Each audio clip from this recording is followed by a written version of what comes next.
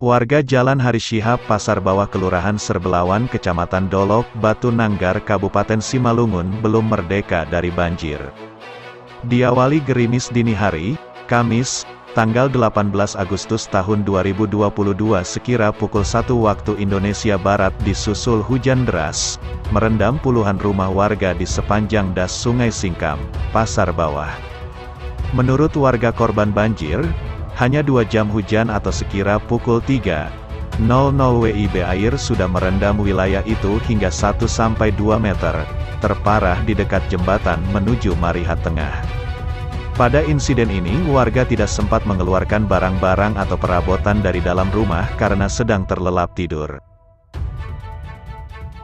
Tidak ada korban jiwa, namun terpantau dua, dua unit mobil ikut terendam, Isuzu Panther milik Edi, 42, dan mobil pick-up milik Wando. Atas insiden ini warga sangat berharap perhatian dari pemerintah setempat khususnya pemerintah Kabupaten Simalungun.